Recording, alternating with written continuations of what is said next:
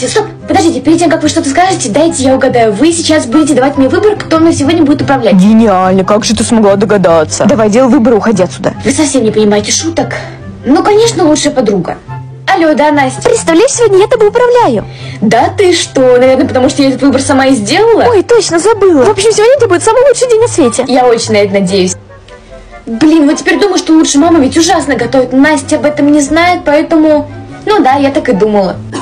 Доченька, извини, я же не знала, что у яиц есть срок годности. Ну а зачем яичницу добавлять апельсины? Боже, я ужасно отравилась.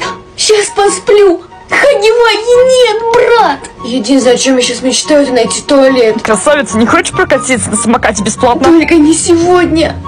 А, нет! Наконец-то, я думаю, сейчас меня как прорвет в толчке. Дочь, что-то тебя сегодня жизнь помотала. Спасибо, мам, за завтрак. Ну, извини, мы, кстати, сегодня уезжаем, можешь пригласить друзей. Единственный друг, который сегодня со мной будет, туалетная бумага. Я пошла.